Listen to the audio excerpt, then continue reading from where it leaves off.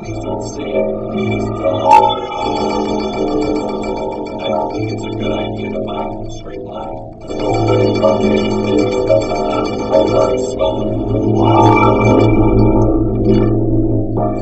Looks like the only thing you gained was pain.